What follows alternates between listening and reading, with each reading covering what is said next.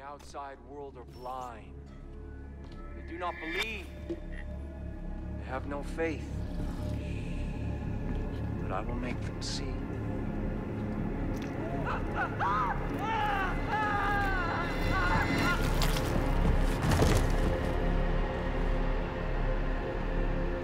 And the voice shouted, Come and see, and I saw. When the Lamb broke one of the seven seals, behold, a white horse, and he went out to conquer. Roger, Sheriff. You still planning to go through with this? Over. We are. Unfortunately, still trying to talk some sense in our friend Marshal. Over. There's something about this intro. It's the same thing that lives at the heart of all of Far Cry 5.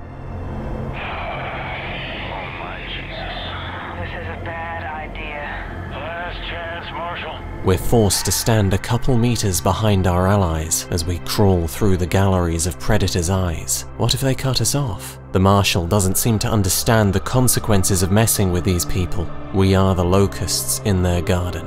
His garden. Joseph Seed, the father, speaks like he knows something. Something we don't. So he offers his wrists to be restrained, and he comes willingly, without worry or fear. God will not let us take him.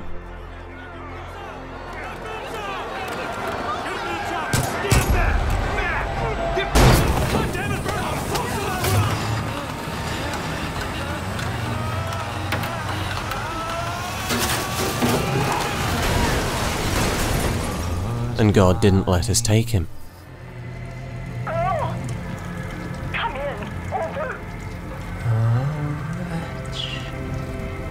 Nancy at dispatch can hardly control herself. She begs to be reassured.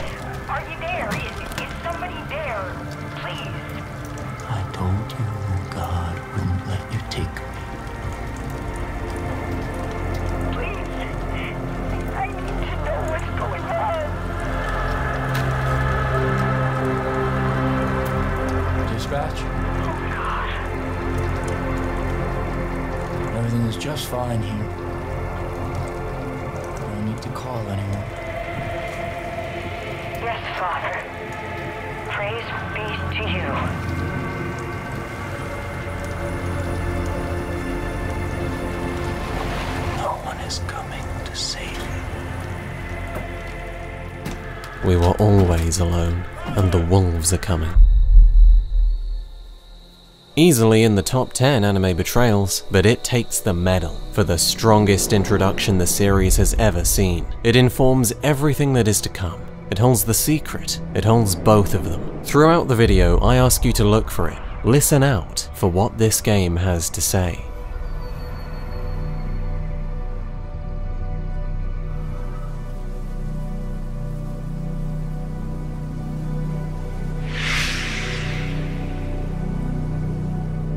Read a comment the other day that highlighted what's common among the games I like to talk about. They're average, or at least, that's how they're perceived. I hadn't even realized myself, but how can I deny it when recording for Far Cry 5? Thing is, I've never considered this a hit or miss franchise. Ignoring the spin offs, I've yet to play an entry I haven't loved. So much so that Far Cry 4 is one of my favourite games ever made. Controversial, I know. What dulled the idea of that game for many was its similarity to its predecessor. What dulled the idea of Far Cry 5 for many was its similarity to everything. 2020 was of course the year America became the setting for a Far Cry. Or was that 2018? I don't know, I can't tell. But the point is, it isn't even a Far Cry. Originally, I considered the limits of my perspective. The Caribbeans are exotic to me, but that's relative. America may be exotic to them. Then I remembered one vital detail. I'm not from America. It's the other side of the planet. This will work. Oh, yeah. It will. I got a cheetah tank back here. We'll air that.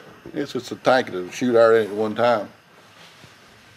The language is relatively similar, but like the time differential, the landscape is night and day. America may be fresh for Far Cry, but it sure as shit isn't for media. Montana was the smartest choice, in a nonetheless familiar country. My concern was that Far Cry 5 wouldn't feel like Far Cry, but I'd only get my answers in time. The issue at hand is if it'd look that way. I love Europe, but I wouldn't want to play an open world composed of green fields sectioned with green trees and nothing but, as far as the eye could see. What do you see? It's a remarkably endearing novelty to walk through these lovingly rendered woodworked American homes, and through the windows, your eyes are met with fir trees, a blistering orange sun, and the dry yellow fibers it's kissed. Beautiful, but uniform, no? Perhaps we ought to get a bird's eye view. See that? That's Angel's Peak. Cult built a statue to the father not long after they established themselves in the county. I think it needs a little redecorating, and with the dust settled, this is a statement. And our perch. Hope County.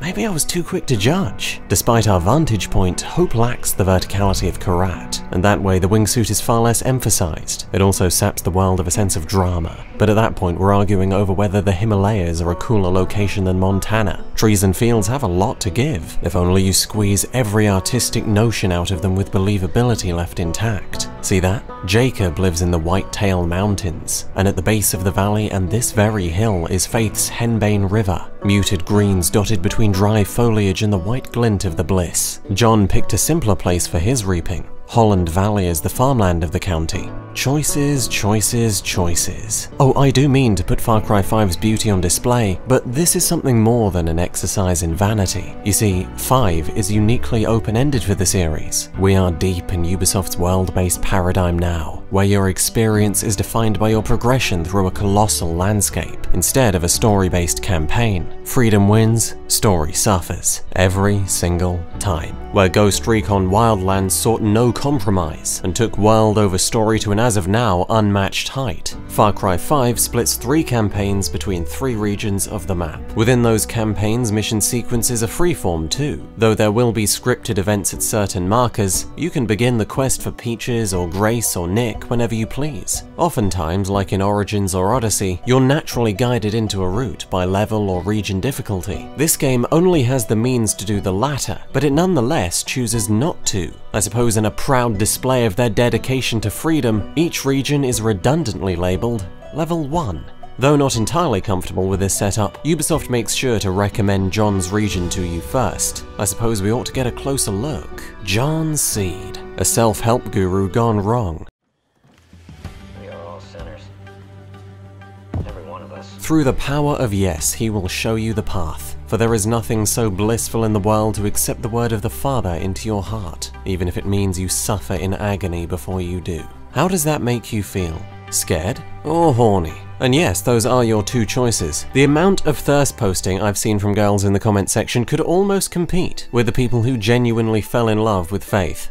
yeah, that's a rabbit hole we're not going down, but if you want a little additional reading, you might want to check out the 100,000 view John Seed X Reader fanfictions on Wattpad. Honestly, might be a better sequel than New Dawn. John spent his life looking for more things to say yes to. Yes, I will have an absolutely legendary beard. Yes, my region will be proof that Ubisoft have the talent to make Montana a captivating setting, despite the lack of previous locations' inherent drama. We've got the farms, we've got the tractors, everything seems to fit a mesmerizing rural American archetype. Apart from these apples. Maybe Americans are right about GMOs. What the fuck is this man? They're putting fucking dodecahedron apples in our food and turning the horses gay. There's a comfort in Pastor Jerome's walls. Can you feel it? Hope?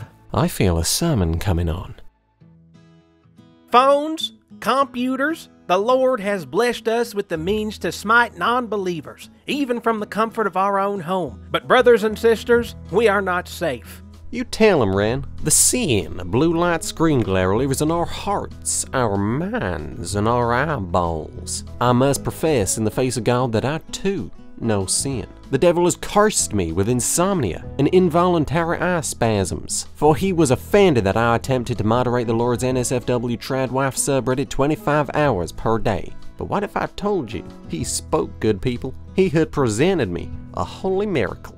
Chuck, my son, can you testify as to what word beginning with the letter G comes after gamer?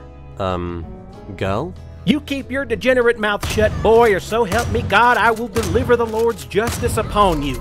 Glasses, the father, Joseph Seed, has pronounced himself prophet, and in the face of God, I believe, so help me. I believe he is the lamb returned to pasture, for his eyes sit. GMG Performance Eyeglasses. I presume the G stands for Gabriel, because no mortal man could produce such holy craftsmanship. We do not see with his eyes, so we cannot see the glory of his plan. Look upon this art through his lenses, brothers and sisters, and you may see the righteous path in RPG video games. The Lord in heaven above does not forgive the soul of the man who lets his eyeball succumb to disease. But he is proud, people. I say proud of the man who scores a righteous kill to death ratio by employing the gift of a limited Black Friday discount at checkout. Amen. Happy Sunday, folks. Y'all can go home now.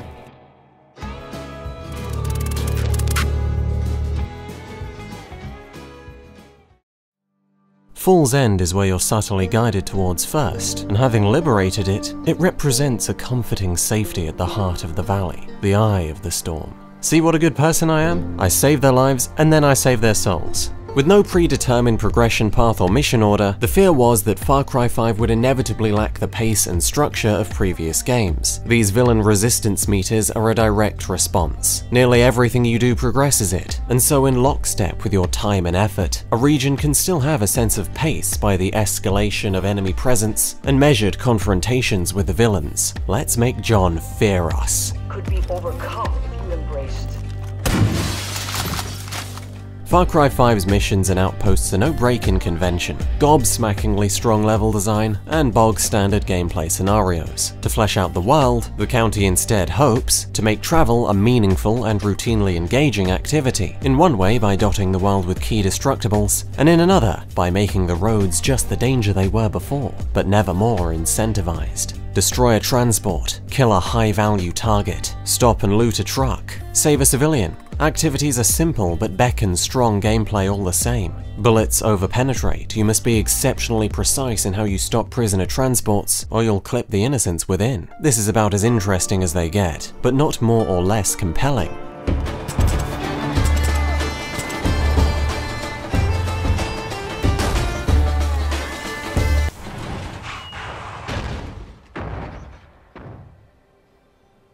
Let me ask you this, what is Far Cry's gameplay about? I wish the developers had reminded themselves more often. You'll see. In Call of Duty, or any such shooter, engagements occur level by level, most often in enclosed spaces, whereas in Far Cry, encounters can happen between any factions at any time, likely on a road, perhaps in a forest. So as a direct result, dynamism guarantees consistently interesting variation, and more emphasis is placed on what makes Far Cry unlike its contemporaries. Use trees for cover, use vehicles for cover, use wild animals, escape, lead your pursuers into a trap, or astray entirely. This even applies to core FPS pillars. Aim is still a primary skill, but gravity and travel time are far more of a factor, because world design encourages longer ranges, and balancing puts emphasis on the bow. Positioning is still a primary skill, but now there's foliage to shroud yourself, and the direction from which you tackle the level can be altered entirely. Far Cry sets a decent, familiar FPS, in a vast, rich, immersive sandbox, the nature of which enhances core FPS pillars, dynamically ensures consistent variation, and is balanced to make engagements with sandbox elements likely.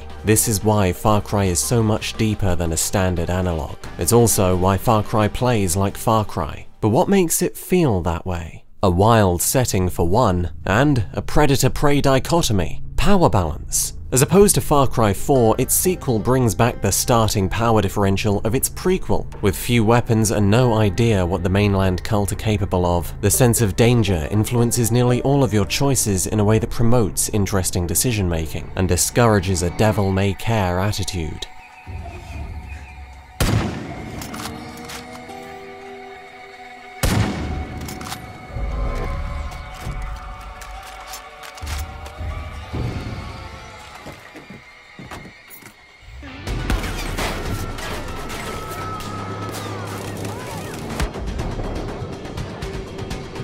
In other words, it's as good for the gameplay as it is for the immersion when you're fearfully sneaking through abandoned houses and considering the smartest route through the brush. Pre-planning, especially with a map, is rare. Far Cry is more often reactionary. It is in the heat of the moment that you may pick my way over the highway. I'd wager that's why you see such winding roads in the county. Being so indirect makes them noticeably inefficient, thereby promoting consideration over blindly following the GPS. Far Cry begs to be played on a difficulty setting one higher than you'd typically choose for an FPS. You can imagine how this fortified bridge is nothing more than set dressing for Just Cause, but a genuinely intimidating encounter in an appropriately tough Far Cry. Even if I take out the men guarding it, anyone else could show up at any time. And like 3, it is this player behavior at the start that creates such palpable progression in contrast with your behavior at the end. It's no surprise that in America, blisteringly paced weapon progression has the power differential change much sooner. Far Cry 5 holds little back. It should have.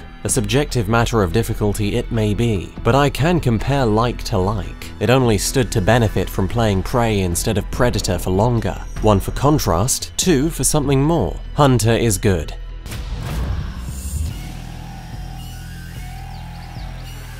Serves 5 better. That's certainly the philosophy it took to its villains. We've angered John. He's coming. Far Cry 5 had the understandably daunting task of having to justify both your kidnap and your escape eight separate times. John's region coasts on the hope you'll come here first, because it attempts little for the sake of variety. You are being hunted. Capture Party. You are being hunted. Capture Party. As your second or third region, this will quickly feel inorganic, but we're about to feel a hell of a lot more than that. Far Cry 5 flexes its talent for drama routinely. Excellent performances, voice and body, compelling dialogue, strong framing, bewitching music. The cutscenes are praiseworthy across the board, but usually, this cinematic talent serves as a vehicle for an idea, a suspicion, an emotion.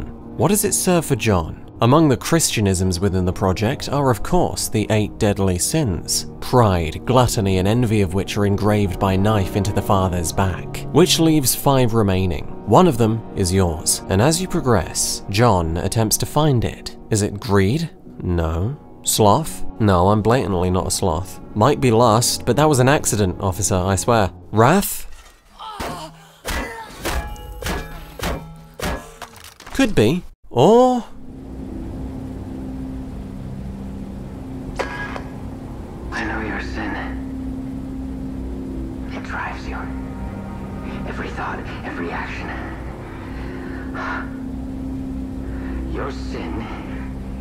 Cringe.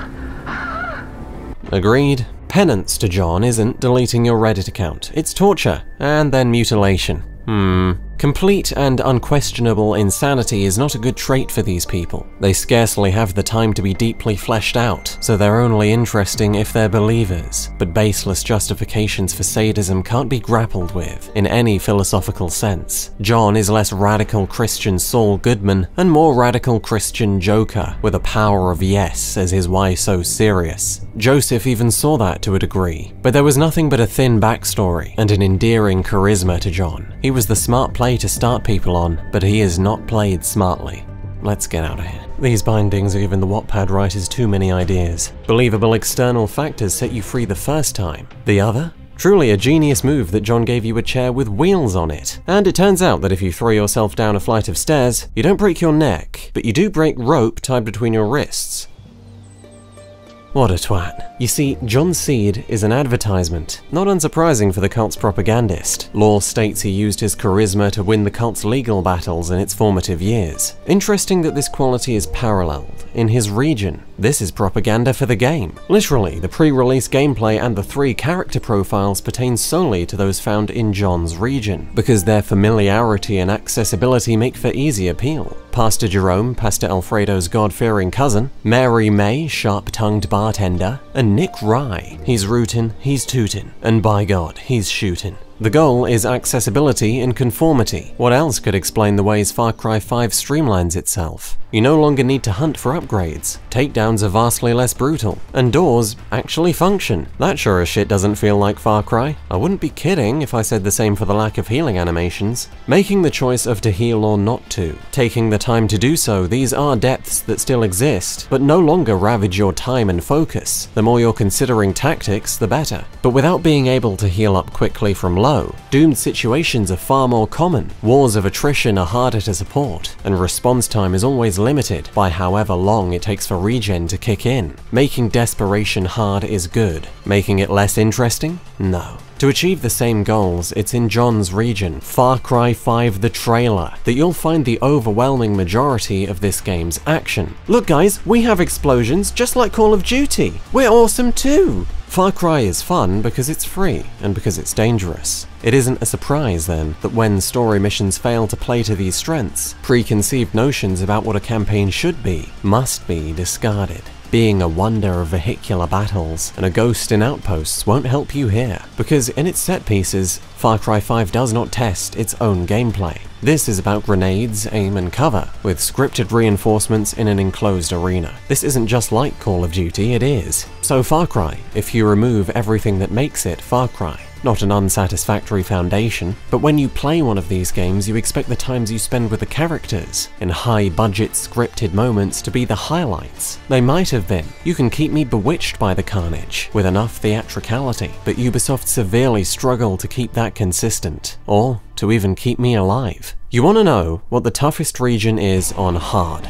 Jacob, surely? No, it's John. Far Cry's design compels turning up the difficulty, but if you play along, you'll find these badass scripted power fantasies ended in seconds. If I'm stuck in a turret or invisible play boundaries, I have no choices. I may have to degenerate to something exploitative, boring and routine. A comedy routine, but the kind that gets you on Twitch fails, or Live Leak, depending on how close you are to a window. Yet to the exact opposite effect, John's region arbitrarily remembers it's meant to be the beginning, and massively overcorrects on tutorialization. Flying Nick Rye's plane is shallow, and I'm not talking about the altitude. You're directing a slow-moving but quick-turning seaplane through giant yellow hoops for three minutes straight. After having sent nearly the entire population of Montana after me, Far Cry 5 now assumes I don't know how to use the left thumbstick. Following NPCs is a rare but similarly mind-numbing setup. Is that a plane? Is there something waiting round the corner? No, there's not. There is moving forward.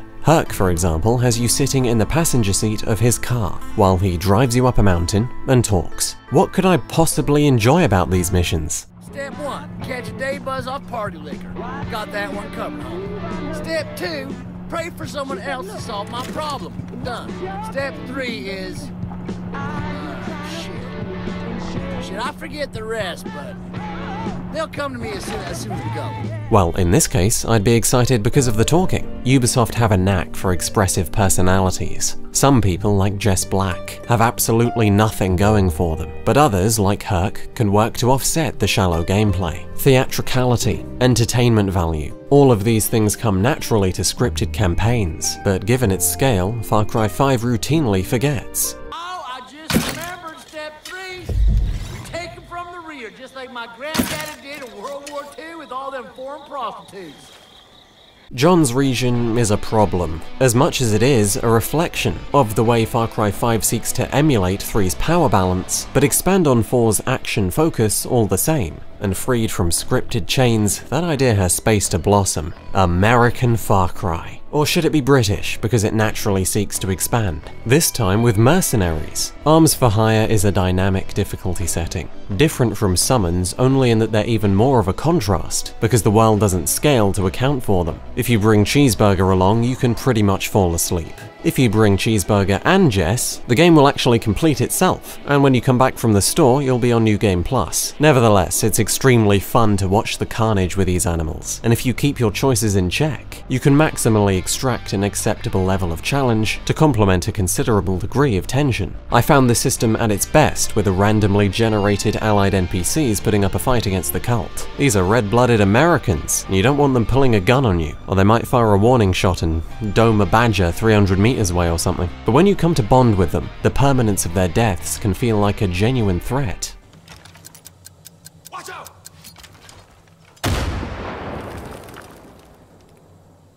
You are a tool.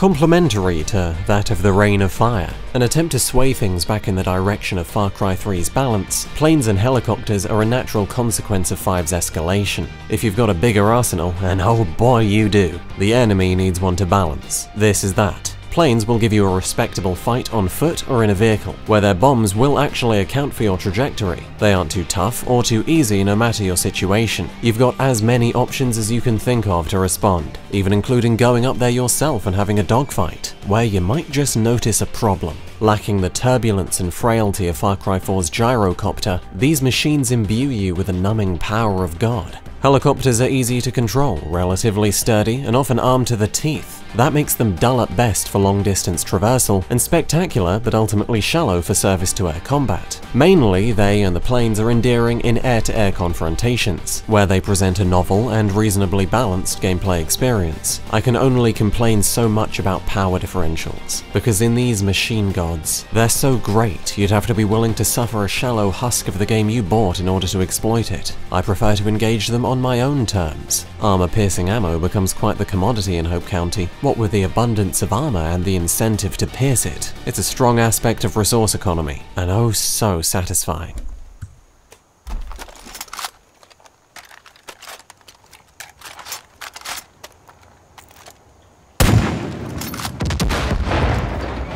That's as much a testament to those provocative reload animations. Far Cry Sandbox is so broad by now I can watch Peaches get launched into the air by a moose, fight it to the death and very almost lose, then be instantly harassed by one of Faith's planes, shoot it down after a protracted battle with armor-piercing rounds, take a pot shot at the parachuting pilot, get into a fight with the Angels a minute later, and then be attacked by the pilot, who walked all this way to get his revenge. This was memorable for its bombastic identity, but the structure of multiple dynamic factions intertwining to create continually interesting gameplay defines Far Cry, and 5 specifically at its best. It is at its best most often. To fast travel would be a sin for simply going along these roads of Far Cry 5's tensest moments, and its most exhilarating. It's a dopamine factory, an addiction. I adore Far Cry 5's action, but only in its purest form, free form.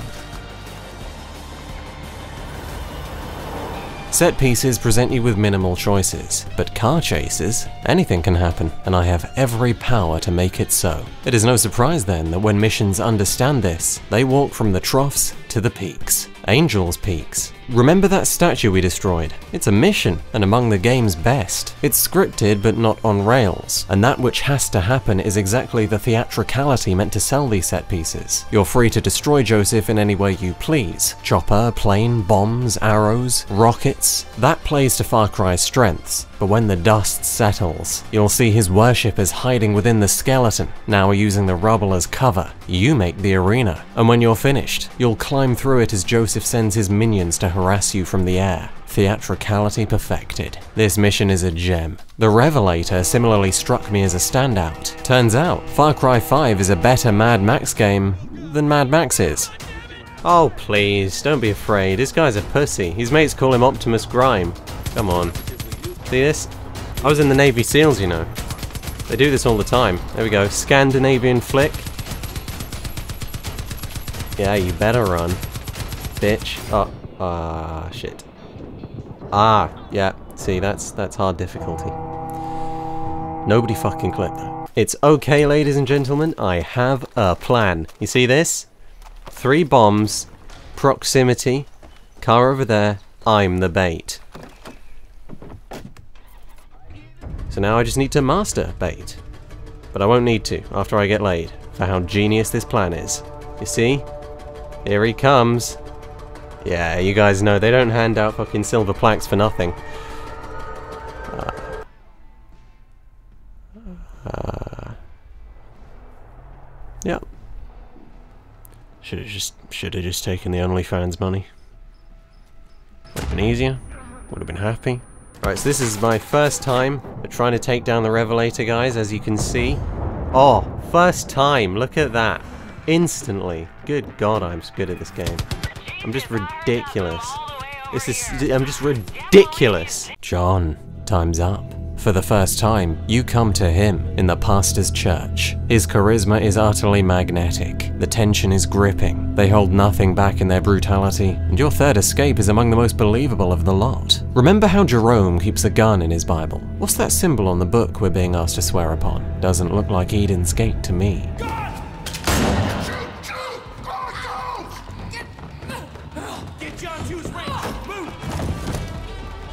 By Joseph's decree, each seed was given one of Hope County's bunkers. These are their strongholds and the home of their loyalists. You'll know the region is free of their disease when the rat's nest is cleared. You'll clear it like Call of Duty. And I don't hate that. So which is it? Drama? Theatricality? Humor. It's the same as it is there. We've even got the missile silos. Going out with a bang? John the Baptist. Like the saint, he also dies at 32. Fall's End can sleep easy tonight. Though the church could do with some redecorating, we might not be closer to God. But I assure you, way up where we're going, you'll be closer to heaven. The sword of Eden's Gate is nested in these mountains. The Bible says Jacob died aged 147 years. I look forward to proving the Bible wrong. God damn, I need to quote Reverse Flash more often. Anyway, the Whitetail Mountains compose the shortest region of the three, and despite presentations, a challenge no greater than John's. That's John's fault, of course, but it is noteworthy, given stone, blood-laden, knife-point presentation. Like Faith, to mix things up, Jacob's region introduces a new enemy type, the Judges, wolves trained under Jacob's watch. They obey his command, but have never been more ferocious or quiet. Being so small and so silent, you can often be mauled to death out of nowhere with far too weak a telegraph. Occupying the exact same archetype as any melee-focused enemy, and failing to contribute anything interesting beyond it, the Judges are novel, and not much more. To parry Jacob, you'll need allies. The Whitetail Militia, a now underground group of locals, using guerrilla tactics to snipe at Jacob's forces. They're public enemy number one, and needing even fewer resistance points than John or Faith, we're already close to capture. By now, more problems are starting to show.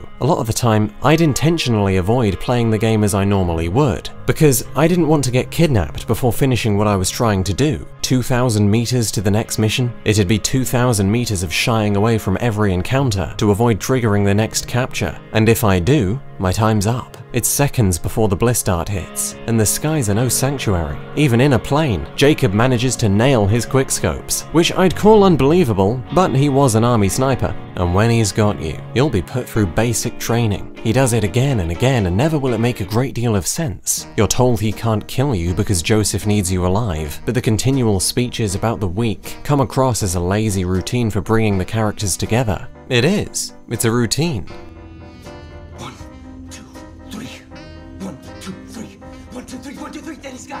It was all part of the plan. Jacob explains to you that he's mastered the technique of classical conditioning, a learned response to various stimuli, and in your case, it's a music box that compels you to kill. He knows you're with the Whitetails, so he doesn't need to find them, he just needs to complete your training and let you do your work. We cull the herd for the fourth time, but everything starts making just a little more sense if you pay attention to the details. Every run we finish in a room, the same room. Recognize anything about it? It's the Whitetail Bunker. It always has been, and where once the final weak man stood, now stands Eli. Jacob's plan is complete. You cull the herd. A lazy routine somehow uses itself to reach a brilliant conclusion. Color me in blood and then color me impressed. I needed to be, because Far Cry 5's drama, villains, and that secret we've yet to find are all it has to live on. Face reveal, yep, that's me, going for a bit of a Sarah Connor look, but I like to call her Bud Light McShotgun. She's not quite the girl White Light Chan was, but she's grown on me.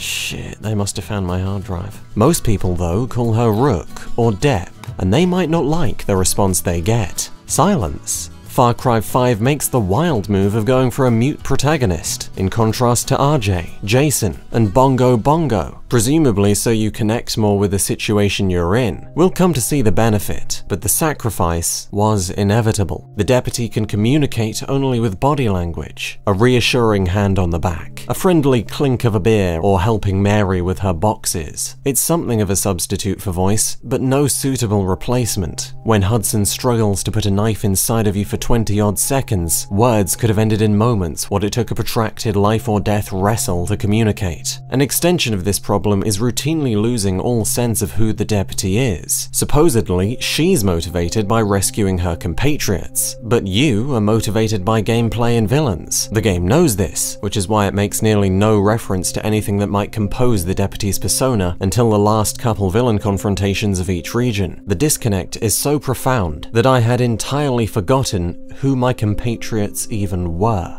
Forget caring about rescuing Pratt. I didn't even know who Pratt was until I had had already rescued him, though that was just as much their fault as it was the deputies, because Far Cry 5 has the broadest, but least diverse group of allied characters in any entry yet. Broad because there are at least three per region, and least diverse because they're all the same. Eli is the same character as Pastor Jerome. Pastor Jerome is the same character as the sheriff, who is the same character as Mary May, Nick Rye, and the list goes on. One of the greatest troubles with Far Cry 5's characters is that their differentiation is skin deep, a collection of costumes to veil a uniform archetype. You don't know their fears, aspirations, you hardly know their relationships. They don't develop because they are dimensionless, each in the same way and each from start to finish. In his character profile, Ubisoft advertised a 98 second long vision of Pastor Jerome with incalculably more depth than his in-game portrayal. Deep religious reflections, commentary on the nature of Joseph, conviction, badassery, regret, in 98 seconds. But comparison is impossible between these two men because you cannot divide by zero. In the Whitetail Mountains, I was impressed by Jacob because I spoke to him, and when I did, he had something to say, but those who I am supposed to care for spoke rarely and only in drivel.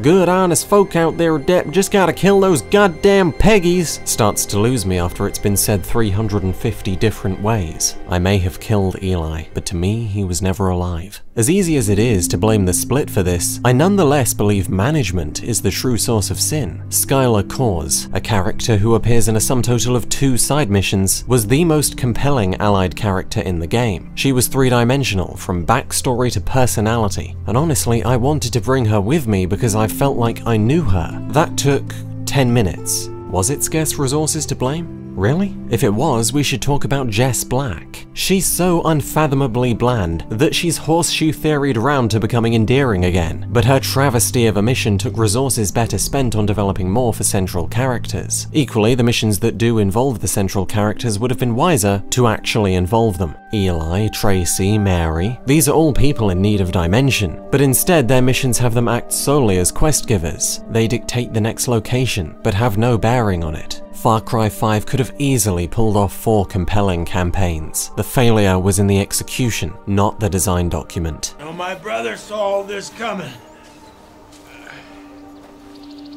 I don't know if he talks to God. That doesn't matter. He was right. Humanity is once again in crisis. It doesn't matter what we build or achieve. We will always find a way to break it down. Babylon, Rome, empires rise, empires fall. America, we're no different. We think we're indestructible. World War II, war on terror. We survived it, but it only brought us closer to the edge. And this is where we are, right here, on schedule, just waiting for someone to push us. And oh boy, if you pushed us. you did everything he said you would do.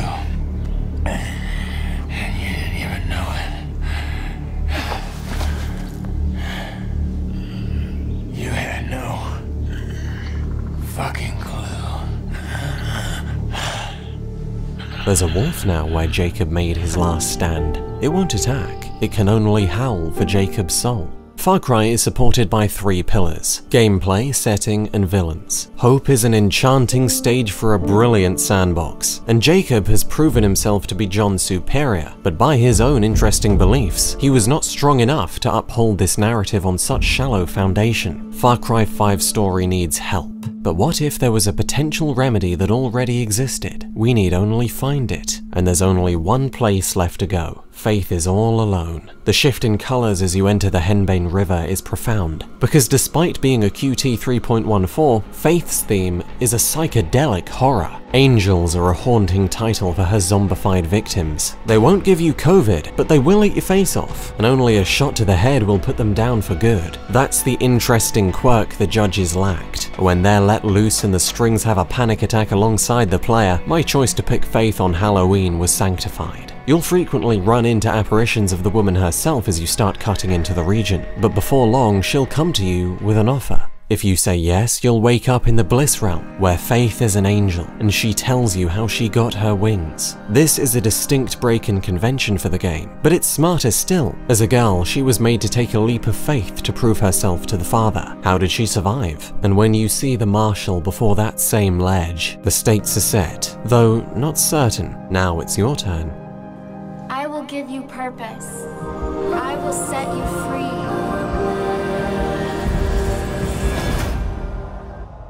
You recover before the Hope County Jail, which is where the bulk of the story to come unfolds from. You don't have to comply. Faith's proactive nature in her own region creates this uniqueness to her story, and in keeping with its dynamism, you aren't always captured by force. I was just making my way to the next mission when, as is so common in Hope County, I came across yet another hostage situation. I rammed the cultist, I went to untie the woman's bonds, but the cuffs were placed on me. When Faith hadn't sent a capture party right away like her brothers, I was wondering when she'd make her move. I never could have predicted I'd play right into it. It's how completely and utterly unexpected it was. It's how unique it was to me that makes this so endearing. We came here to find a cure. We found one in Faith's sickness. But as she's proven, there's always more than meets the eye. Take a closer look, and Far Cry 5's subtle narratives contribute a great deal. The ending is hinted at throughout the game, Faith's backstory is revealed in tenuous details or recordings in key locations, and you can even visit major settings in the cult's history, a brilliant way to boost believability. You can find the Seeds Ranch, you can find their first church, you can find the person who complained to the then inconspicuous Faith about the noise coming from the statue construction, you can find that person strung up and gored outside their home. But those examples specifically are simply the fruit of my luck. For any given location, it's an unlikelihood within an unlikelihood. One, that you find it, two, that you explore it thoroughly enough to understand its significance. Environmental storytelling is fantastic, but people aren't that way predisposed for Far Cry like they are for Dark Souls, and Dark Souls doesn't need the help.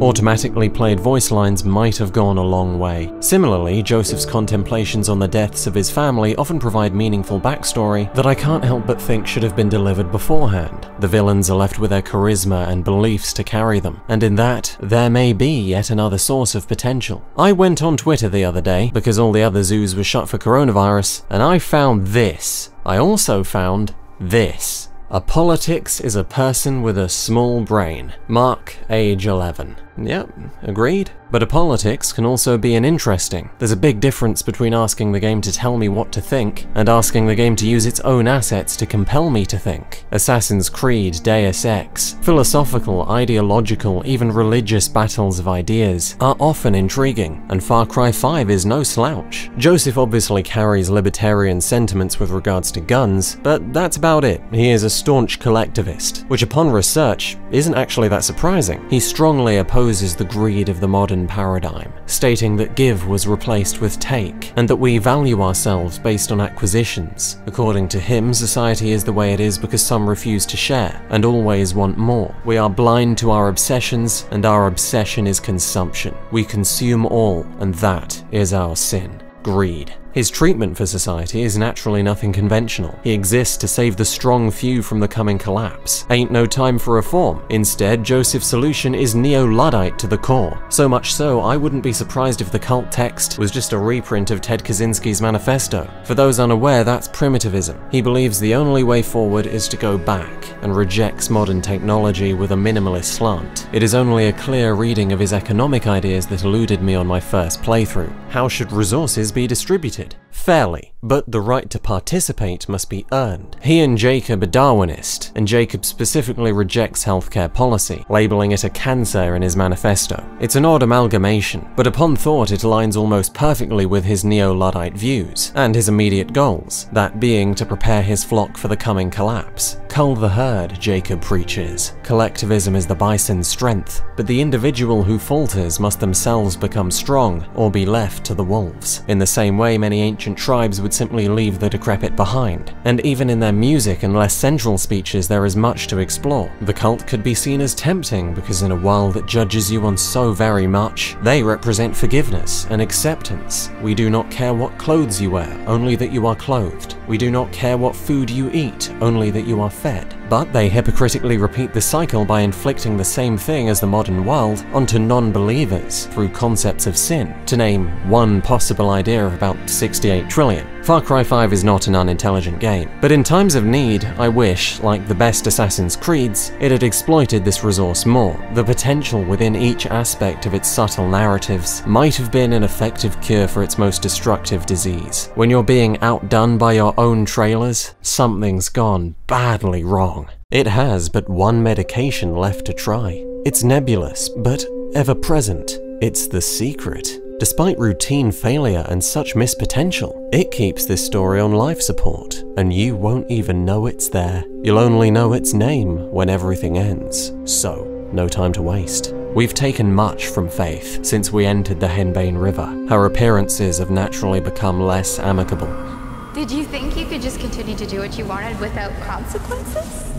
I don't know, ask the Watch Dogs 2 writers. She seems to give up on you. She seems even to grow scornful. No longer will she leave you in peace, and perhaps that'll catch you off guard, having since adjusted so thoroughly to simply swatting her away. Every animal may be something worse, every civilian an angel, every apparition a haunting. Faith's emotion is sold even through her capture timings. At first, to reflect forgiveness, it's slow and unpredictable, but with time, the delay narrows, until you pass into the Snoopscape instantaneously. Faith turned to revenge. Ah, don't worry.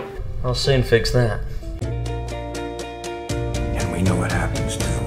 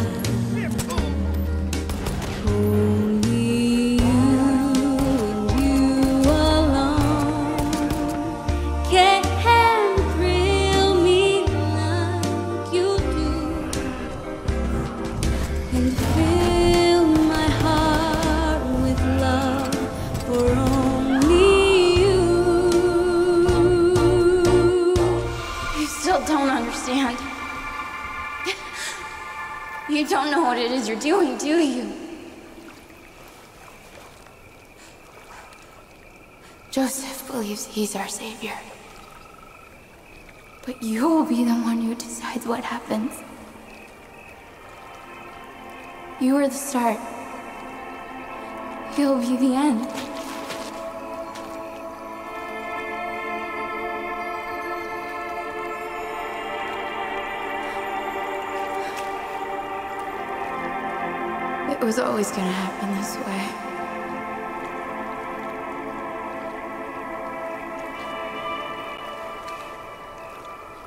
You'll walk the path. You'll rescue your sheriff. You'll be the hero. And then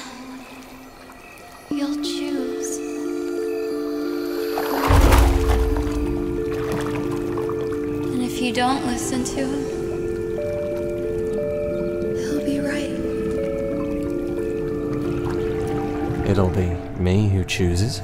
Were you?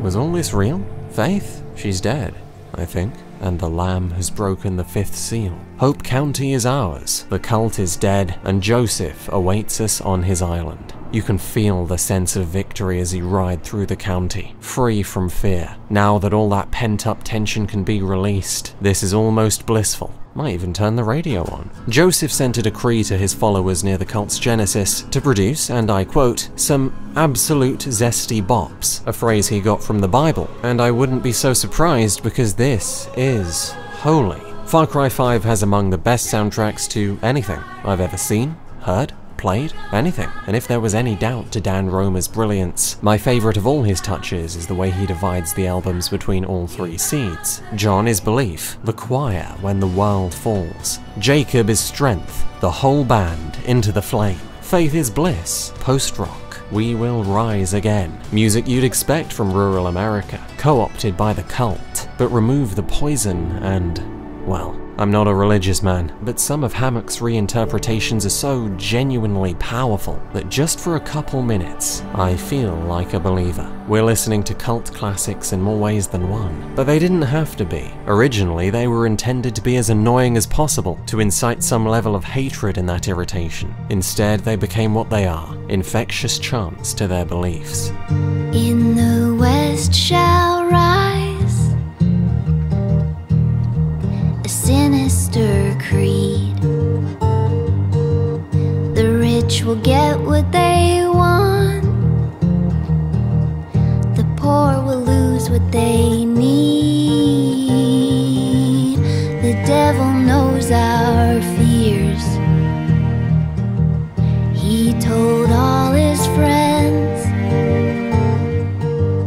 they'll block the sun with their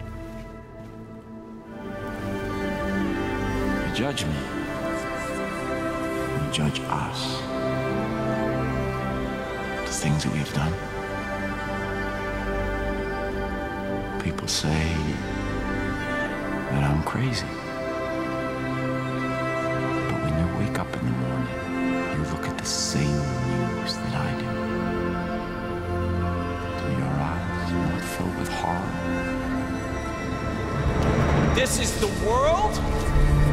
This? This is the world we built for our children? Communities being torn apart?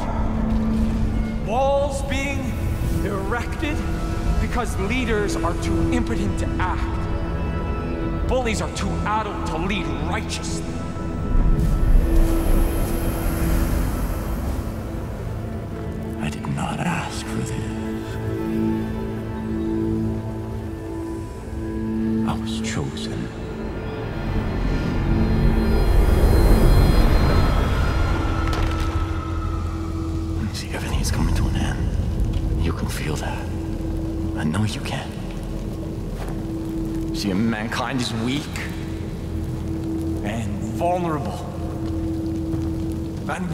Hurtling towards our destruction, and no one is willing to do anything about it. I can see that.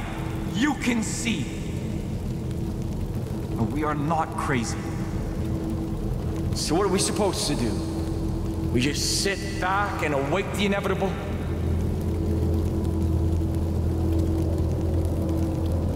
I claim to be a perfect man. But I saw what was coming and I chose to act, to lead. Because society is broken. And the only way forward is to go back to the way things once were. Innocent and pure, so safe and protected in our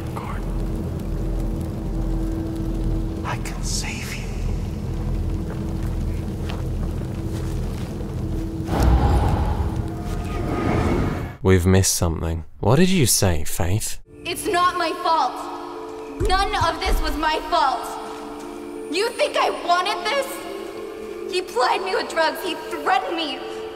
I was 17. I was just a child. Are you trying to manipulate me? Or did you drop the act? What is it? What can I not see? Oh, after Angel's Peak. What have you done? His words. Don't you understand what he'll do to me?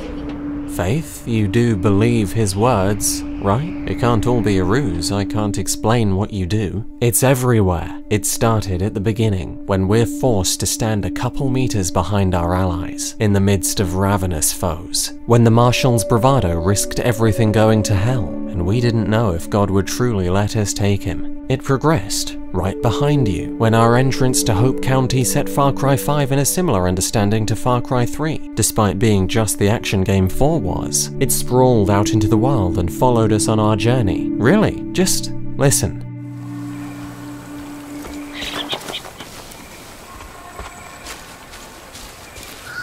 There's nothing there, but the sound design will always make you think there is. Like the Bliss, where in the Henbane River anything you see could be anything else. You'll question just what you think you truly know. It's true, drugging is rarely used to indoctrinate people into cults, but demonstrating miracles, as the Bliss does, is often used to convince followers of holy power. How could he heal that boy? In the same way, how is faith doing this? Telepathy?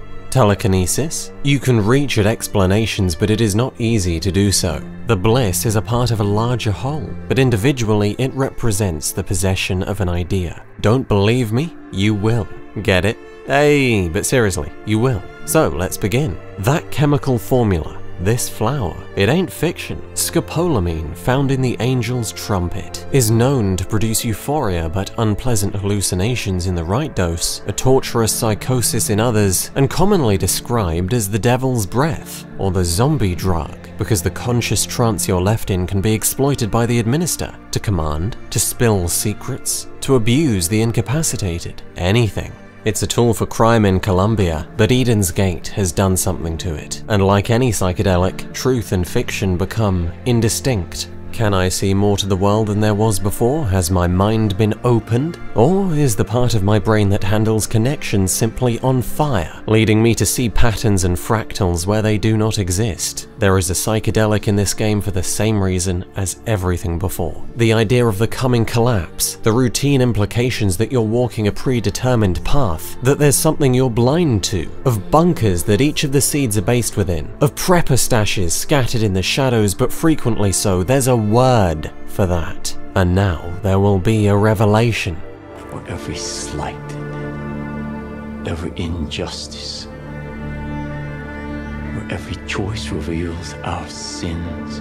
Resist or walk away. This is our final decision. When the Lamb opened the seventh seal, there was a silence in heaven, and the seven angels before God were given seven trumpets. And there were noises, thunderings, lightnings, and an earthquake. And I heard a great voice from the temple say to the angels, Go your ways, and pour from the vials the wrath of God upon the earth.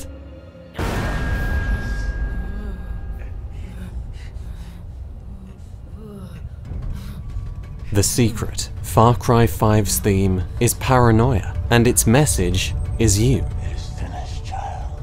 Insanity, paranoia is not. It's a seed of truth, the fear of what could be that grows so monstrous it owns you, the paranoia that creates the almost unbreakable bond of one's mind to one's religion, the paranoia that compels suffering men to live in holes out of fear of what might come. It controls your choices. Now the world is on fire. A realization of an apocalyptic nightmare we all share, and a physical manifestation of the world's chaos. Why do you think that is? Why do some of you believe it's real?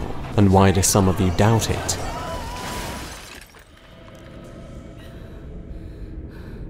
You know what this means?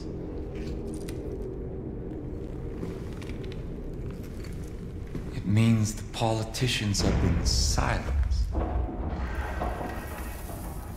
It means the corporations have been erased. It means the world has been cleansed by God's righteous fire.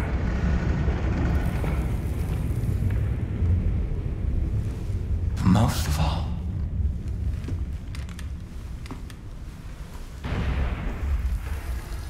it means I was right.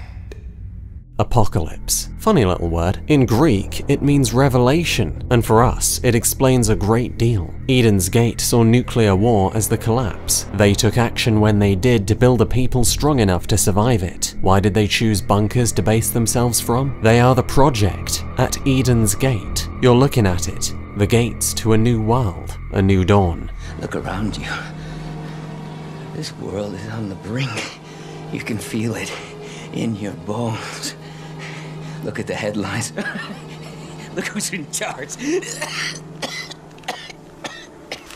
you want this key? because you think you're saving people, but they are already safe.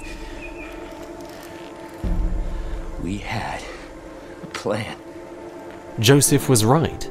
Right? True to Far Cry 5's paranoia, yet another question it had you asking yourself was if this was his doing. The fire I know is surely real is that of discussion regarding this ending. There are six theories. I dismiss hallucinations because it's tantamount to saying there was no ending, leaving the two of importance confirmation or hoax. Three bunkers, three silos, three blasts. Think that's a coincidence? Joseph might have fulfilled his own prophecy, so the claims go. Yet, meanwhile, the Far Cry world was on the brink of a nuclear war. The radio by the end warned that attack was overwhelmingly likely. Then, hoaxers would say that the cult blocked all comms, so the broadcast must have been fake. Prophets would respond that it was only outgoing signals that were jammed. Hoaxers would say that you don't see the nukes in the walk away ending, and prophets would say that the walk away ending was too brief to know, just to describe a single instance of the appropriately fiery debates. The hoaxes were wrong for a number of reasons, that very new dawn being the completely insurmountable one, but I'll humour the game as it was at release. If this was Joseph's plan from the start, then nothing makes any sense. Project at Eden's Gate doesn't quite work if you blow up the Eden's Gate and everyone in the project. If this became the plan at the end, it still doesn't work because the silos were, as far as we knew, destroyed. If he took the nukes that were in the silos out and detonated them elsewhere, why did the locations correspond to the silos? Joseph was either right, or he killed everyone that could have been convinced by a lie. The real reasons the locations correspond to the silos is because they are the seeds of doubt. I struggle to believe that Ubisoft would put such attention to detail into this game, to the point where the zombies quote the radio songs and then fail to realize how much ambiguity is presented here. They wanted you to question this, because to present absolute clarity would be a betrayal of everything they had done up to this point. From the side content to the entirety of Faith's region, from the introduction to the words spoken by every single villain upon their death. It doesn't matter that the hoax theory falters, it matters it was meant to be there. It matters that people were confused. It even matters that it seems a lot of people wanted it to be true, and just as many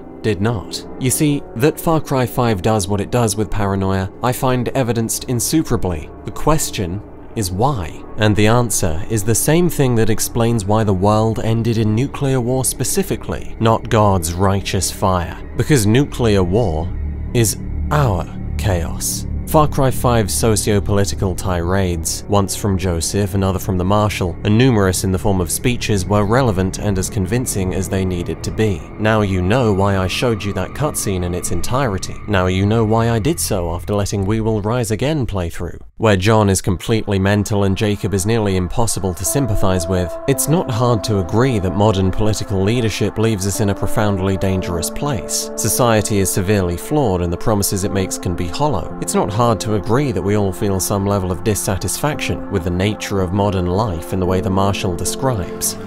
We live mundane lives, just doing what someone else tells us to do. Day.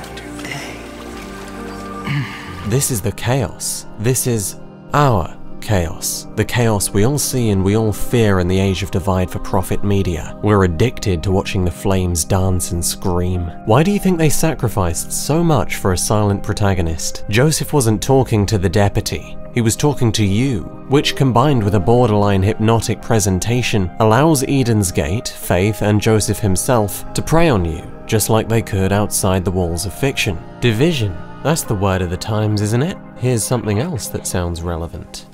And then, of course, we need, well, we need streaming music. And we need streaming TV and streaming movies and streaming news and then streaming opinion and streaming truth and streaming lies and lies and lies screaming in our heads. And we consume without purpose. And we consume without reason. And we consume without regard for one another.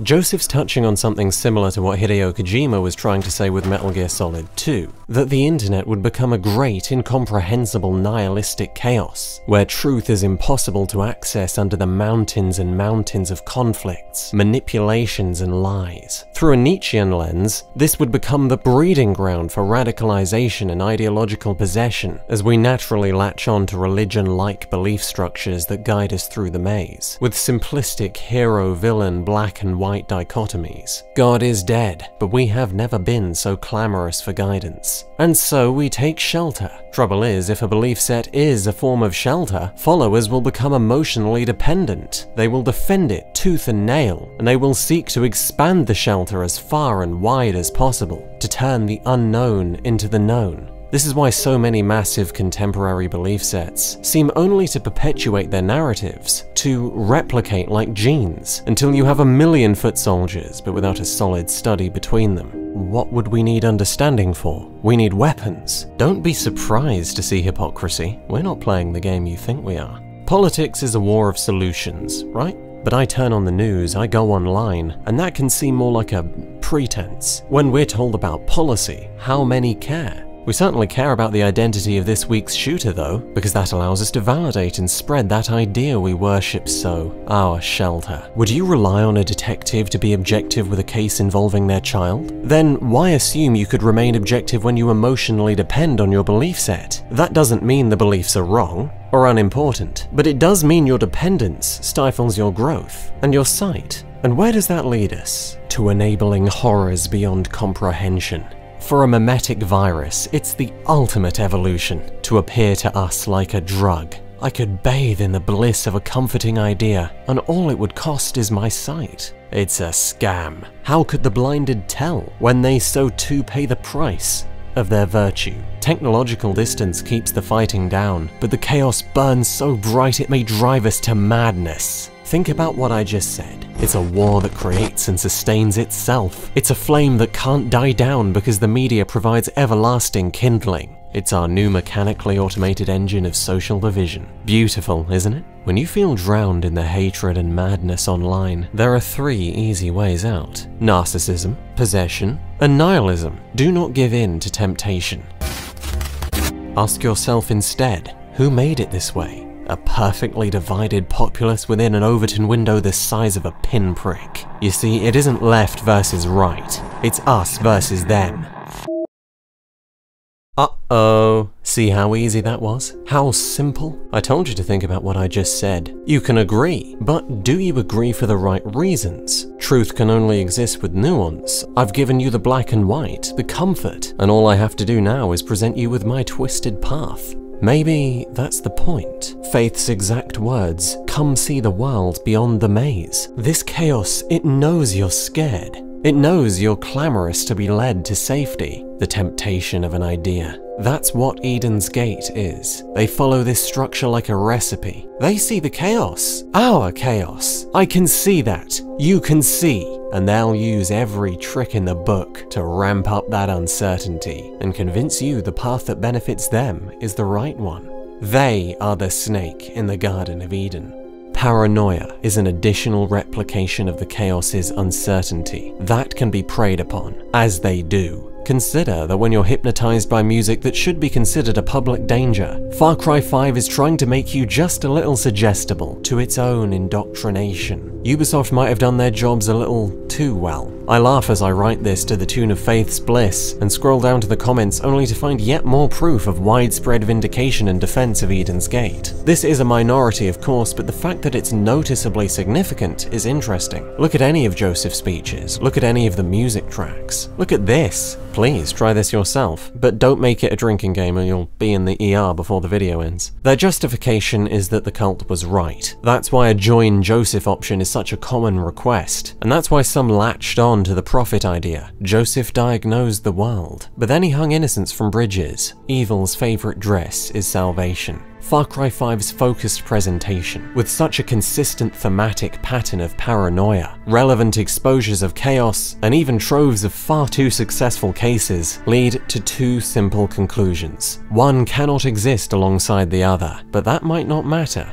I'm nagged by the notion that Far Cry 5 is so hypnotic, simply because it makes Far Cry 5 a more engaging product. Sympathetic villains are often interesting villains. Why should the same logic not apply here? It does, but consider the nature of the bliss. As an analogue for indoctrination, they chose scopolamine for a reason. Though intention doesn't especially matter, the second possibility is this, and I'd say the leaning is favourable. Far Cry 5's message is you. because all it'll take is a little introspection for you to see whichever ways you might have been played. It even gives you the opportunity. You see, some hang on to the hoax theory like their life depends on it. The reason for why that is highlights Far Cry 5's second message, and amongst the flames, immense dissatisfaction. Infinitely more common than those who wanted to join the cult were those who had deeply sour thoughts on this ending, and I certainly understand. The boss fight is a joke, walk away feels underbaked, and any way you have it, your efforts were for nothing. Resist has your friends die, walk away has only you come on the radio, and, well, you can imagine what happens next. Hoax or not, you and your mates are fucked. I like that. Others didn't. Some latched onto the hoax explanation because it at least allows them to hold up that hero-villain dichotomy. But is that what was intended? Is it what this game was trying to say? If you wish to understand Far Cry 5, look around you. This is the Rapture. This is the Book of Revelation come to pass. What was the first thing the Father said to you? And I saw, and behold, it was white horse, and hell followed with him.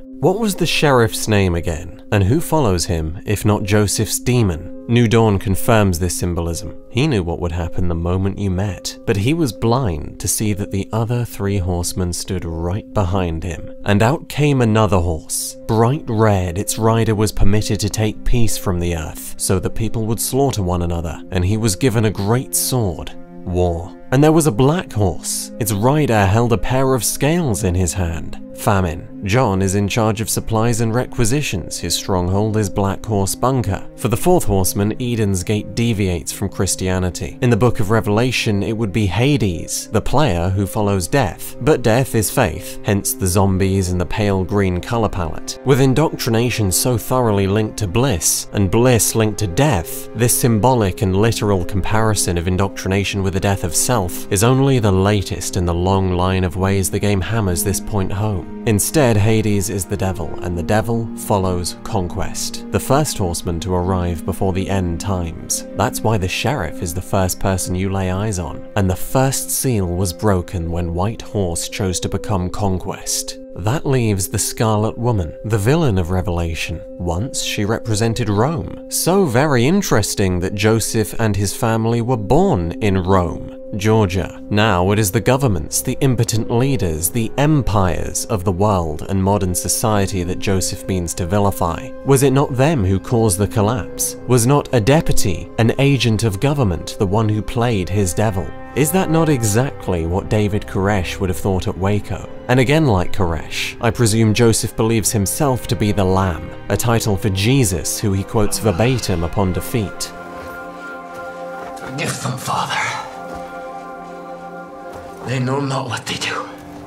And his prophecy came true, but he was not the Messiah, for he did not see the snakes in his garden, nor his own sin. But he did see yours. When are you gonna realize that every problem cannot be solved with a bullet? When you first came here, I gave you the choice to walk away. You chose not to. In the face of God, I'm making you that offer one last time. Every slight, every injustice, and every choice reveals our sin. John was wrong. Your sin is not wrath. You'd rather watch the world suffer and burn than swallow your pride. This choice, though light in its weight, means everything it was made to be. Joseph is a hypocrite and a liar, but he is right about this. There are a multitude of reasons to pick Resist, but no doubt most players chose it because it seemed like the obvious good guy choice. We're meant to bang bang shooty shooty until the villain is dead, right? That's what we assume, and that makes Joseph right. Not because I said it, because he said it, and Faith did too. Joseph told you exactly who you were. Then his heralds told you what you'd do, and you did everything he said you would. And now the world is on fire, and there is no one left to save or be the savior. Your choice here was predicted, prophesized. Joseph's diagnosis of you was perfect. Its message is you. Again, this is another reason we observe this mountain of paranoid messaging in the game. It's about making you question not just whether or not you're right, Become wrath. Let it fill your body and consume your soul, because in the end, you'll still be empty. But also whether or not you're good. That way, Far Cry 5 does not present a clear hero-villain dichotomy. There is evil, and there is more evil come to stop it. Surely it should not shock that in a game about religious, ideological, and cult possession, the writers would refuse to present a reductionist black and white moral worldview, and highlight the hypocrisy of our situation. We are possessed by the idea of the fight. We are devoted to violence.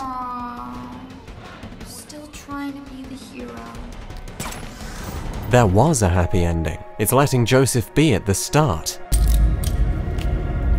Sometimes the best thing to do is to walk away.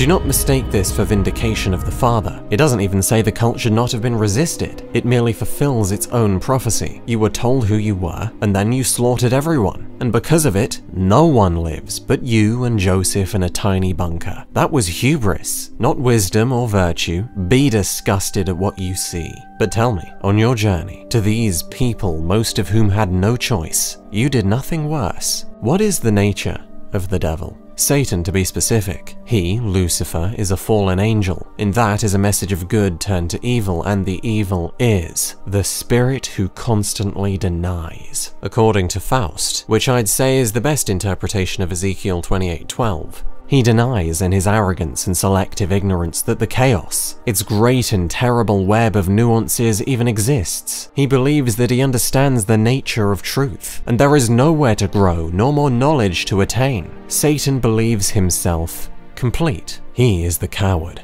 The hero is brave, and there are no heroes here. Joseph was right about you.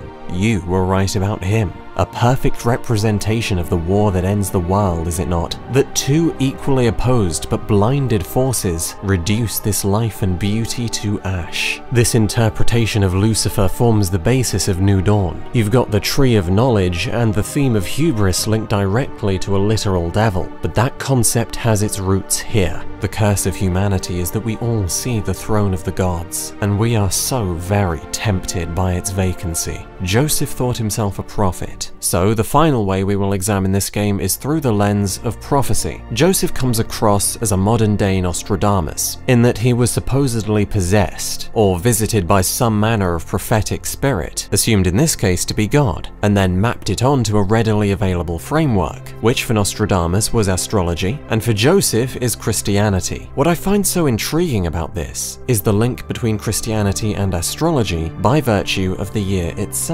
Aeons are Carl Jung's way of grouping ages of humanity, which often relate conjunctions of the planets to shifts in our collective unconscious, mainly regarding God. Sounds metaphysical, but the esotericism of it is a seven hour discussion in and of itself. Point is, the trend line is supposedly away. Like Nietzsche said, God is dead. And some philosophers have argued that we now treat technology as a replacement. We have built our new God, and we will continue to build better ones. The aeon is moving again, every 2,000 years, and we're right on schedule. On the precipice of this change, and after having been visited by a Nostradamus like spirit, Joseph not only seeks to return us to the concept of a natural God, but also to reject our mechanical replacement entirely. What Joseph personifies then is the old world, desperately trying to save us from what's about to come. But being the old world, it failed, horribly. From whichever way I look at this story, I see some level of poetic righteousness that we would both falter. I aim to make four points. One, that Far Cry 5 is infinitely deeper than it was given credit for. Two, that it intended at least half of it. Three, that Far Cry 5 has nothing to say, if only you choose not to listen. And four, that choosing not to listen is no sin, primarily because you might not even think I'm right. You might see things completely differently. But similarly obvious is that Far Cry is a mainstream action FPS. It didn't get there because of what it said. It got there through gameplay setting and villains. We aren't predisposed to analyze them. For those who might have and chose not to all the same, could anyone blame them? Mind-numbing allied characters, technical faults, repetitive captures, and John's weak, uninteresting beliefs can understandably deafen ears. The message could even come across as hypocritical or unfair. We are possessed to slaughter because games, like most released by Ubisoft, tell us to, and not to question it. There's an irony to it. It can dull the idea, though it wouldn't be the first time Ubisoft's products critique the company's behavior. Far Cry 5 deserved a defense, not an exaltation. It made me feel doubtful and like a hypocrite. And I've seen it happen to so many others, but it could be for just as many reasons that it did not happen for you. All of them good, apart from one. And for that, first I need to introduce you to a premise. I could walk you through in sequence everything written about this game in its vicious but surprisingly bipartisan political flaying that was blind to its barest intentions, let alone what it did have to say. Some were scared that it would be an attack on rural Americans. Some were upset that it didn't fire the shots it could have. In acknowledgement of the volatility of even discussing the politics of the game's media, I want you to know I bear absolutely no ill will. I understand Ubisoft's positions on these things are often frustrating, and I have immense respect for their prowess as writers. But they are in a position to arbitrate truth. Truths like the cult was not apolitical. Even someone completely uneducated such as myself could glean a clear reading and have it check out against New Dawn. What I told you was just my analysis, but the test comes back positive. Of course they don't fit on a Democrat-Republican axis. Makes sense given the fact that they hate modern society and think the world is going to end in a matter of days. Not exactly an appropriate Overton window. Truths like, the game was developed before Donald Trump ran for the Republican primary, so he couldn't be more central even if that were wise. One such article is a blip. Three is a coincidence, but there's not one, there's 38. After that, I stopped counting, and I started writing. What the Marshal said and what he didn't say keeps this game relevant, but not dated. There will always be the chaos, there will always be the tempting embrace of possession, there will always be nihilism in modern society, strife and fear and confusion in the American and every political sphere. There will not always be Donald Trump. There will be what presidential politics represents. Additionally, many of these pieces felt it was deeply wrong to shy away from more vile ideas espoused by cults comparable to Eden's Gate, or comparable to the Branch Davidians, their direct inspiration. Though comparability surely does not indebt Far Cry 5 to an exploration, in the same way Far Cry 4 did not owe commentary on similar dictatorships. The reason Ubisoft wouldn't even broach the subject is obvious. You can't advertise a game like this, have random bouts of ridiculous light lightheartedness, and then litter it with modern racial abuse, but more so in a game that ravenously tries to get you to see the cult side, to indoctrinate you. Things might not go quite to plan if it worked to any degree to adequately manage the risk of what if they're right, the very nature of the game would need to change fundamentally. Their most convincing position was on gun culture. There is no way the cult could have done what they did without it. There is no way the people could have resisted without it either. To not even afford it the barest mention was surely an intentional choice, and the reason surely was to avoid backlash. That may not be an inherent flaw, but if it disappointed, I accept that. You know I do, because I critique the game for not using its assets more. What I don't accept is the sentiment that Far Cry 5 fails to make a statement simply because it did not make the right one. The wild ending is a fair enough hint it's trying to tell you something. It is American Far Cry, and not a coward or a monster in being that way. The only demon is the one it makes of you. Fear's temptations have always been the devil's snare, an ideology, a religion, a cult, and alongside it, a villain, a changed self, Beauty and the Beast, a predator and prey. Familiarity could have killed Far Cry 5, but it is so very alive. I am as sure of that now as I was in 2018, when I thought of it as the final piece in Ubisoft's golden trifecta. After 2014 with public perception comparable to bird shit on a wheelie bin, it was Watch Dogs 2, Assassin's Creed Origins and Far Cry 5. Three strong entries in their mainline franchises that seem to set Ubisoft back on the right path. In 2020, we've seen just how long that lasted. They'll need a fuck sight more than games to pull it off again, and God makes work for idle hands. Better get cracking. The same could be said for me. Maybe next time you'd like to see how Joseph's handling retirement. And just where the more literal Scissor Sisters are finding all their pink paint, I'd love to see where Far Cry could take us. Thank you for watching. I've got to give special thanks to Renn's Reviews, who helped me with the audio editing and the ad for this video. He's recently been pumping out some absolute bangers, and he's about to release a Call of Duty Cold War video, so I highly recommend going over to his channel and checking him out. Special thanks also go to Chimera in a Suit for the CGI intro, and Leslie Giselle for the Only You cover. I was actually going to try and sing it myself. Um, it didn't quite go to plan, so I had to make a last minute change, and I think it was a, a much better choice. She has a wonderful voice, and I'll have all her links in the description and the comment. Additional special thanks go to Fabian Flack, Elijah Hayden, Chino, Fernando Marquez, Alex Graft, Linus Newman, Nathaniel Haskins, Austin Novosel, Daniel Waylan, Caleb Doss, Newts, Flip Slip Me Dick, Warthol, I Know Lucky, Effectfully, Mardy, Mr. T with some T, Gurniel, John Lemley, Bishop Nelson, Benjamin Carter, Lex Williams, L. Hudson, Soren 066, or is it 066? I don't know. Dubstep, Gutter Fan 92, that's still an amazing name.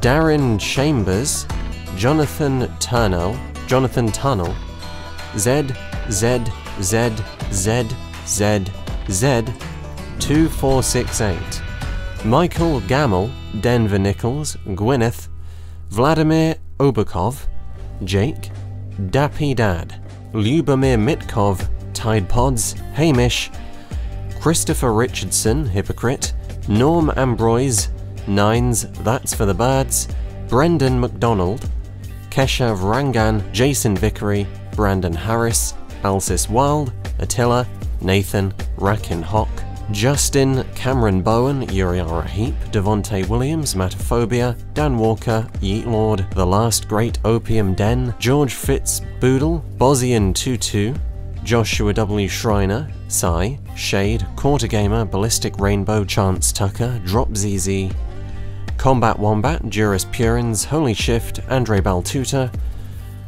Leon Cuttendall, Abby, Dominic Jaworski, Glorious Sexy Beast, and DJ.